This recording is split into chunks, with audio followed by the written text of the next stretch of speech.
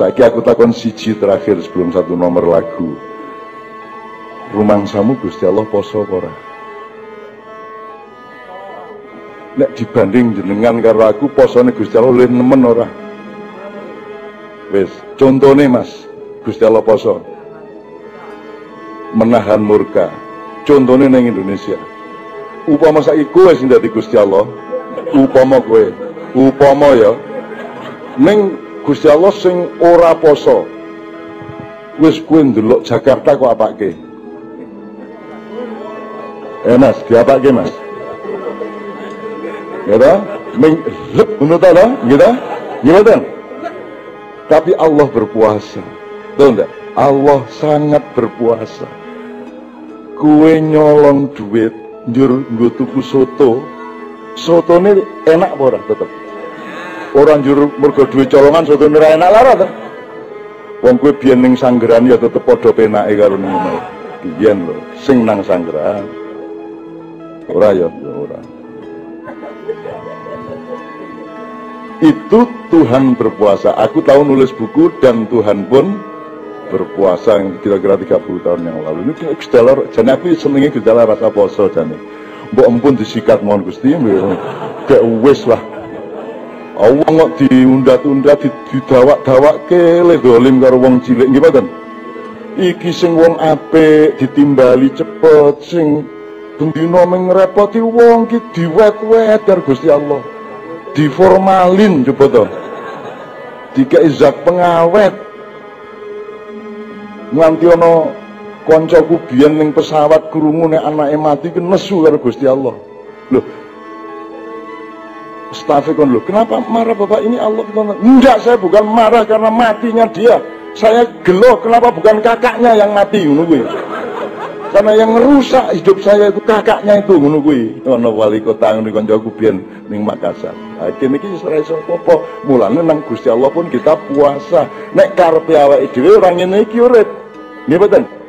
Tapi urip iki meng karepe Gusti Allah wahai hambaku engkau punya kehendak dan jangan lupa bahwa aku juga punya kehendak dan lebih-lebih jangan lupa lagi bahwa yang berlaku adalah kehendakku atau kehendak Allah Subhanahu wa taala. Ngono dadi awake kudu poso yang Gusti Allah.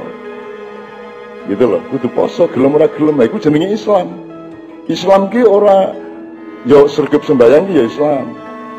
Uh, apik karo wong Islam. Ning Islam sing paling nyoto sok-sok ki ngene, kowe wis ora iso apa-apa meneh kejaba menyerah nang Gusti Allah.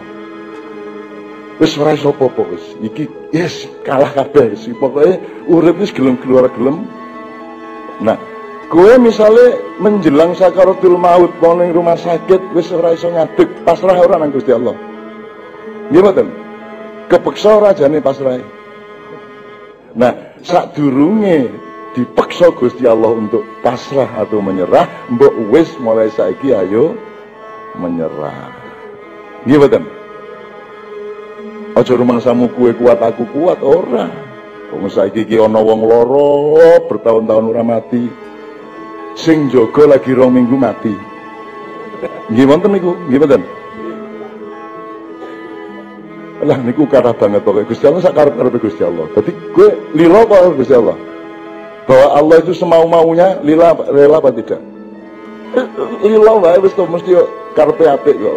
Mengawak dhewe ngerti ngoten nggih? Jadi ya saat durungnya dipaksa Gusti Allah untuk pasrah, mari hari ini kita pasrah. Allah menyuruh puasa, kita puasa. Ya Allah pun manut kalian jenengan. Ilam takun alaiya pun fala ubali. Pokoknya Gusti Allah angger jenengan boten nesu ten kula, kula nasib kula pripun mohon kula terangi. Kula tampi. Arep kere arep wis apa-apa wis angger Gusti Allah ora nesu karo aku. Nek kula niku ngoten niku Dungo kulon meniku ilam takun alayya diling-ling ilam takun alayya ghadabun fala ubali.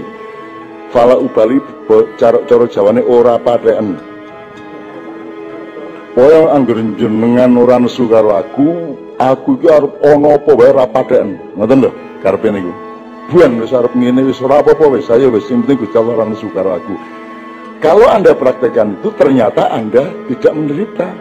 Ternyata Anda tidak lantas menjadi ditelarake Gusti Allah ora mergo kowe pasrah karo Gusti Allah, Allah tanggung jawab nang jenengan, nggih mboten? Akhire ana wae rezekine, ngoten lho. Ibu nggih. Iki wis kedawan wis cukup nggih. Cukup kula tak bali.